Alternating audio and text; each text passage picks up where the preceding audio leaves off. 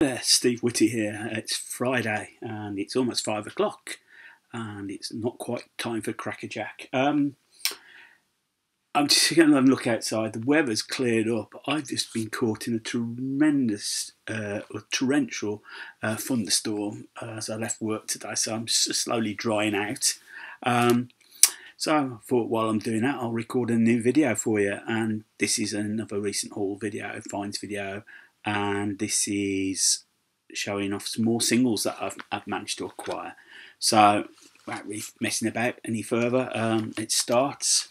Um, first one, this is uh, Golden Earrings Radar Love, which was a top 10 hit for them in the UK. I think it also may have been a big hit in America as well. Uh, Golden Earrings, band from Holland. Um, yeah, excellent song. Next song, what a single. Yes, it's maybe in a Tamla Motown sleeve, but it's in fact George Harrison's "My Sweet Lord," um, which is back to what is life. Um, he was the first Beatle to have a solo number one single in the UK. Um, um, at this point, he was probably writing the best songs when the Beatles split up. Um, though unfortunately for him, he got sued for plagiarism uh, with He's So Fine by the Chiffons and ended up losing. So, still a classic single. And I found another George Harrison single. It's Give Me, Give Me Love, Give Me Peace on Earth. And this is backed by Miss O'Dell. So, yeah, pleased to find some George Harrison. Next up, this is um, record used to belong to B Morgan. It's some um, Hudson's Ford and it's Burn Baby Burn. Now Hudson Ford, um, show you the single. Um, we were members of the Strawbs and they'd left at, um, at, at left um, be if the single came out in 73 I think um, they left at that around that point. Had a couple of hits, pick up the pieces, and Burn Baby Burn. Baby Burn Baby Burn was a sort of song about the about the earth and what we're doing to it. And given the fact it's 40 odd years old, it's just sad actually listening to it think we've actually not le- learnt anything. Anyway, moving on swiftly, Jackson 5, I Want You Back, their debut single. And ABC, by the Jackson 5, two classic pop singles. As Elton John's Goodbye Yellow Brick Road, Candle in the Wind, Elton John, and backed up by Bennie and the Jets. Um, but all track, all, yeah, all three songs have just shown from the Goodbye Yellow Brick Road album.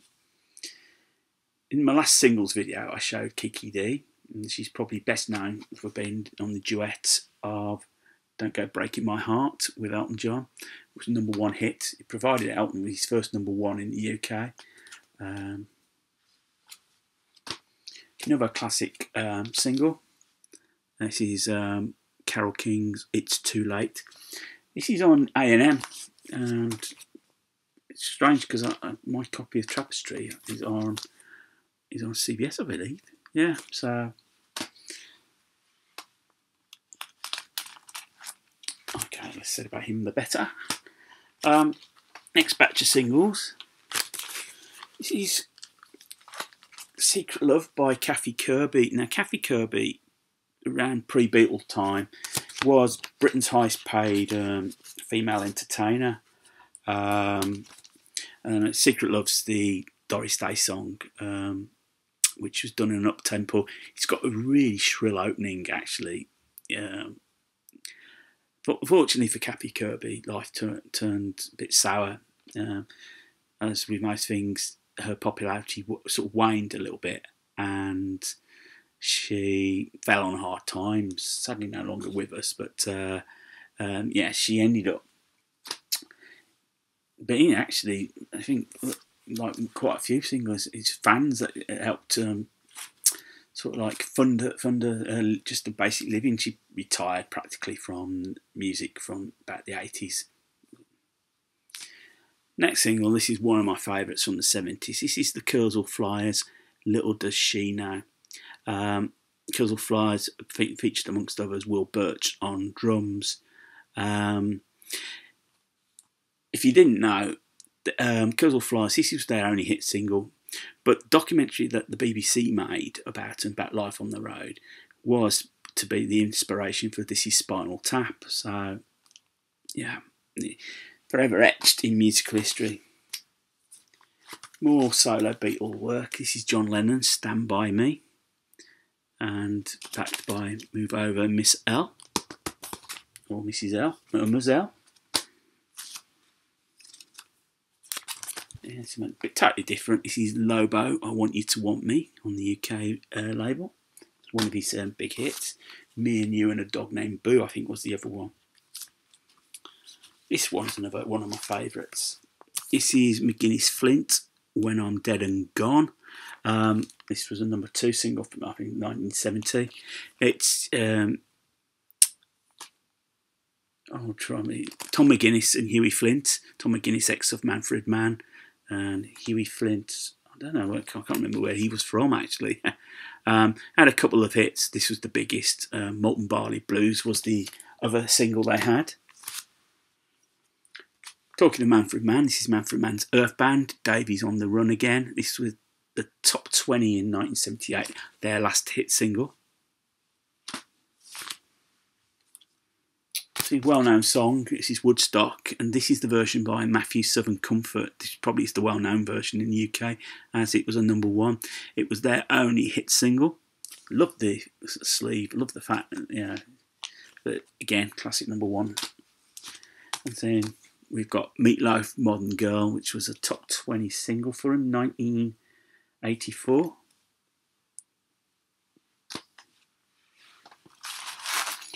Okay, final batch of singles. Michael Schenker Group, Dancer, uh, from 1982. This is the line that featured Graham Bonnet. And this is in clear vinyl. Not that many coloured vinyl records, uh, so I'm quite happy to pick that one up. Uh, yeah. Um, yeah, okay. Yeah, I prefer the their first two albums, to be honest. The Mindbenders, Groovy Kinda Love, uh, top 10, I think UK and America. Featured Eric Stewart on vocal on lead on guitar and vocals, written by Carole Bayer, co-written. Then originally brought from Jay Horton in on, on the Alum Rock Road in Birmingham. This is uh, Moody Blues isn't Life Strange? And then backed by After You Came, really great single on the Threshold label. And some real couple of classics. Mott the Hoople, All the Young Dudes. Uh, it's well known that um, Bowie wrote this song for him, gave him this song in order. It was a toss up between that and Suffragette City. Um, Bowie did it because Pete Overend Watts um, had come up to Bowie and said, you know, do you know any ba- any singer that needs a bass player? And that's how he found out Mott the Hoople were going to split, and they were being one of his favourite bands. He was a bit um, bit mortified, so he'd um, he, he, he, said he said, well, I'll tell you what, I'll give you a song, and they set him set them up MainMan deal, and they set up deal with a new deal with CBS, and the rest is history. Top ten, and they followed it up with Roll Away the Stone. Just classic glam pop rock. Yeah, I just love um, the Hoople. Um, another band, and this is a Birmingham band I've mentioned before. This is The Move, I Can Hear the Grass Grow. This was, I think, their second or maybe their third single. Uh, it's in my top 10 tunes of all time, this is. And then another Move single. This is Flowers in the Rain. Um, most famously because it was the first song ever played on Radio 1, which was the national pop station over 50, over 50 years ago.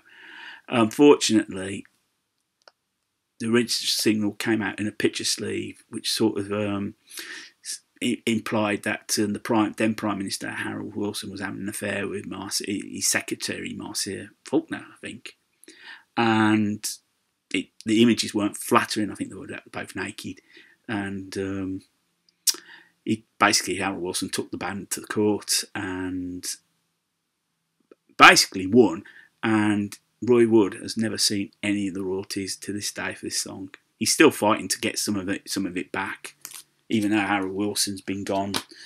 Uh, uh, could be nearly 20 years now. And then another classic single by The Move, Fire Brigade. Um, absolutely brilliant. And then final single in this batch, it's Mud, The, Crap Crept In, which is one of their better singles. Um, again, it's a, this is a Chinnichap production. Um, B-side Morning was written by the band, so that's how it was in those days. Yeah, Mike, Chinny, Mike Chapman and Nicky Chinn gave them the hit singles. Band could do what they like on the B-sides. So, VC, that's the latest haul of singles. Um, gonna have a quiet weekend. Um, the shop won't be open because uh, Pete's at the Cropredy Festival, so uh, probably save me a, few bob. Um, so, um, if you've stumbled across the channel for the first time, you like what you see, um, click on the subscribe button. I'm actually all the twos, 222. Thank you, Balding Boomer, um, for subscribing to me. I've subscribed back to you. Um, thumbs up, thumbs down. Love the interaction. Feel free to comment. I forgot what I was going to say there. Feel free to comment. Um, I'll, I will reply back to you. So they say enjoy the weekend, whatever you got planned. I'll probably do a couple more videos over the weekend. But so until the next time, um, take care of yourselves, keep spinning, and more importantly, keep smiling.